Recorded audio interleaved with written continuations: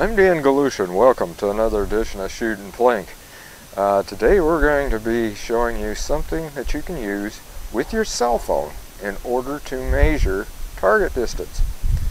It works great for setting up like a range like I've done out at Cedar Oaks or even here in the backyard air gun range.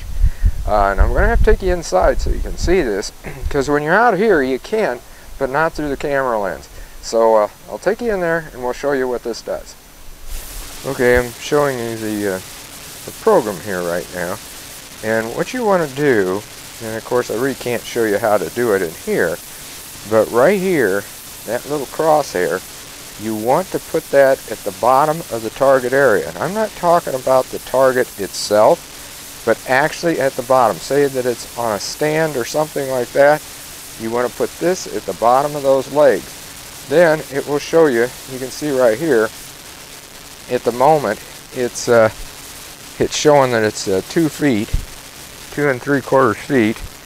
And uh, you know that and that might be about what it is from there. But that's how you do it. And this right here this little thing you'll notice like a bubble going back and forth.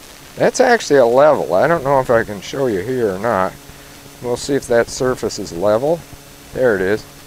You see that bubble? Okay that's level so if you need a level for something, you got that too. But that little crosshair, again, that's what you do.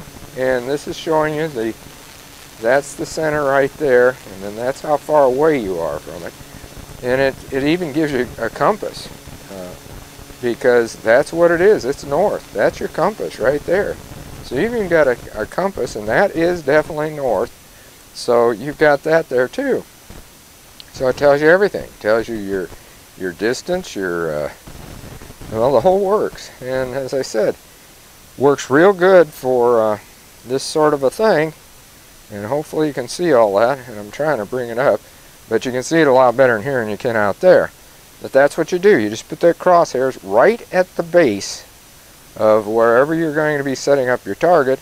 And that will give you the distance.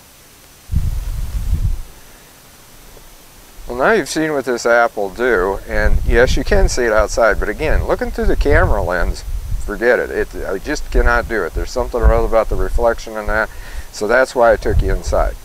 So, you know, try it out. Like I said, it's called Smart Measure. It's free. There's three different ones, but get the free one. That's the one I showed you. So until next time, shoot safe and have a great day of plinking.